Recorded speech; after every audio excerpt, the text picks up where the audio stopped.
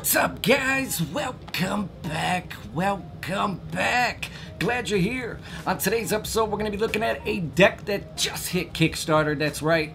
And it's ready for the taking. We're going to be looking at the new Jetsetters playing cards. That's right. The Lounge Edition in Terminal Teal. So, buckle in your seatbelts. We're ready for takeoff. Let's go.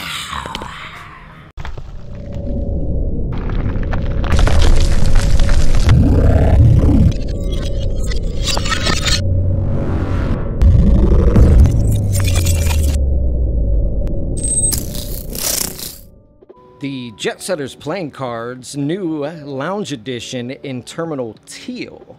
If you're not familiar with Jetsetters playing cards, they were established back in 2015. Since then, they have become a notable luxury brand amongst aviation and the playing card community. Jetsetters has produced over six individual decks, which came to 16,000 units, and they've shipped to over 35 different countries around the globe. The Lounge Edition Jetsetters playing cards launched on Kickstarter on August 4th at 8 o'clock Eastern Time.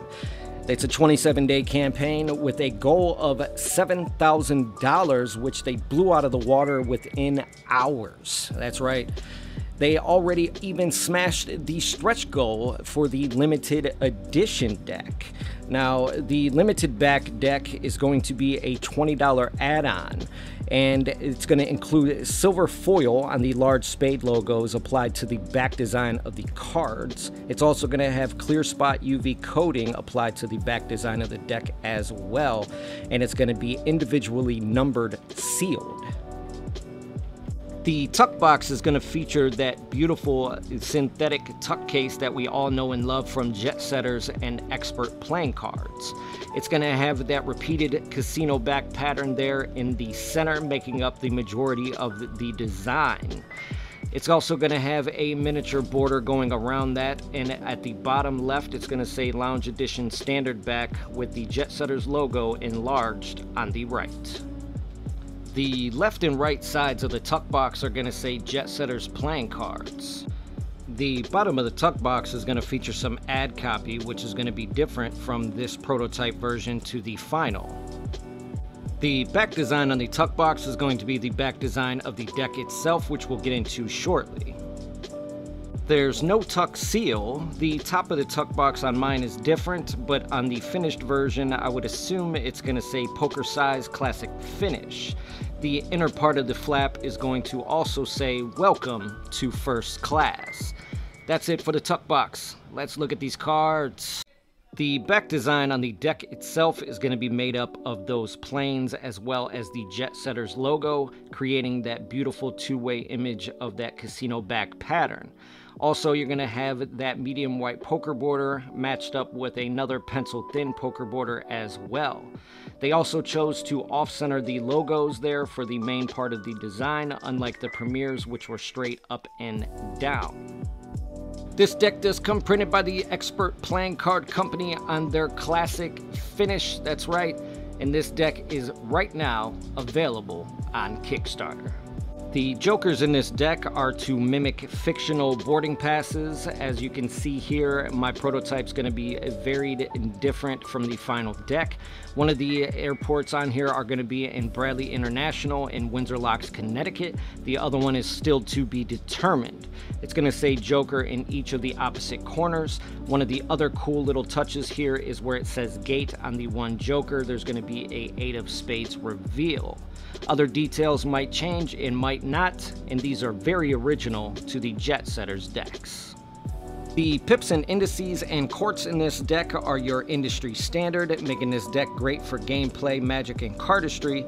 The courts have also been stripped down to look very beautiful and vintage.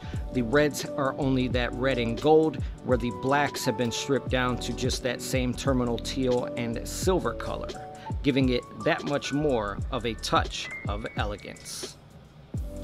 The aces in this deck have now a large center pip on them, giving them a bolder kind of look and feel.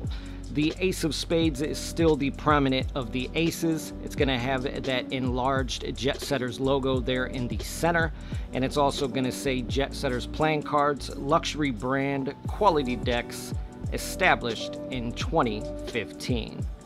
That's it for the deck. Join me now for my final thoughts. Alright guys, you want to know what I give this deck? I gotta give it a B plus. That's right, a B plus. Um, it's an amazing deck of cards. I mean, it really is.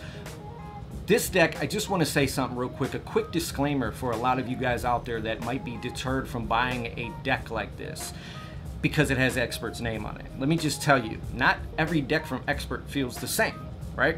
And I learned this the hard way years ago.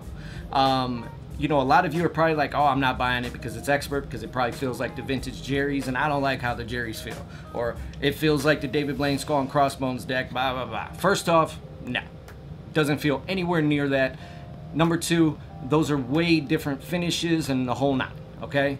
Those are done with the JN finish. This is classic finish, two different stocks, the whole nine, okay? This deck is as close to USPC as Expert has ever gotten, okay? This deck feels like butter period. Um, so please, if you haven't got your hands on the Premier Editions, get yourself one so you can see and kind of get acquainted with that awesome feel. It's not like any other deck that's out there. That's the best part. It's similar to USPC, but in a class of its own. That's the best part about it, okay? That's what makes these stand out. Because as soft as they are, they're also very well, and they, they last the test of time. I mean, it's awesome. I've had a deck that I've been using for, you know, a couple times a week that I've had open for well over a year, and the deck feels like brand new. They're just one of those decks that you can just beat the you know what out of, and it keeps going and going and going.